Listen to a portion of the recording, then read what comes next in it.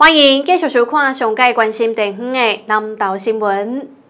卫福部伫咧四月公布新名制快胎试剂了后，部分的民众来表示买袂到快胎试剂，更加免讲社会上的弱势团体。南投救国团为着关怀地方弱势，特别关注两百剂的快胎试剂，来互华山基金会民间站，希望透过这一点点的成绩，互大家共同度过疫情难关。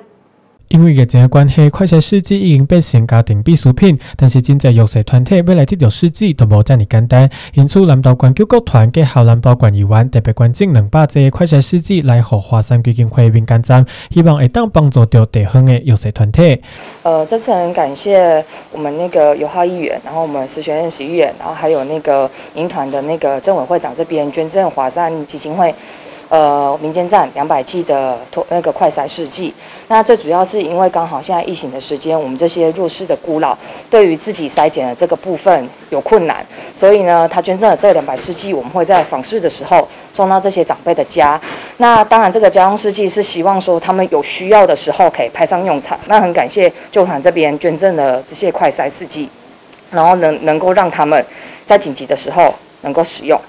这个政下社福单位拢真需要大家帮忙，除了关键快筛试剂，南投县救国团嘛希望透过这个活动，呼吁社会大众会当有钱出钱，有力出来多多关心地方弱势。哦，那我想其实，在呃华山基金会做了非常多照顾地方的，包含像独居或弱势老人的一个这样的服务。那我想非常多的物资必须要靠我们民众哦自发性的去捐献哦。那我们今天也透过这样的一个资源来挹注我们华山基金会。透过我们华山的这个民间站，对我们民间乡的所有的这个独居老人哈，呃，在访视的时候，提早发现他们如果身体有异状，来做一个快筛，然后提早就医。那非常开心今天的行程，这样的活动，呃，也呃，希望可以带动地方上更多的有爱心的人士，呃，跟我们华山基金会这边一起来结合。而这次我们在这里也提供了两百 G 的快筛，希望我们提供给